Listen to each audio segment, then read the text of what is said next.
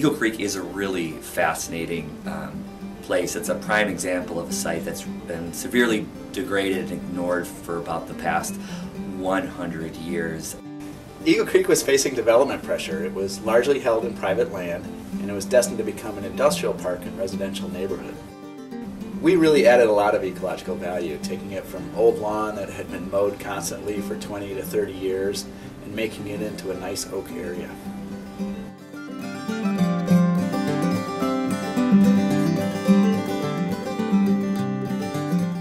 Uh, Eagle Creek is of, of outstanding ecological importance. It has rare features such as boiling springs, and it's also one of the last remaining native trout streams in the entire metro area.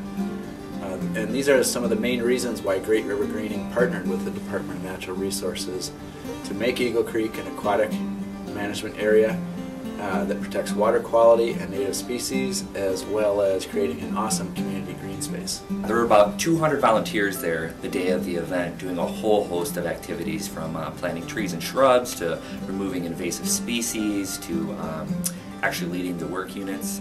We, I think we planted a total of about 2,500 oak uh, seedlings that day.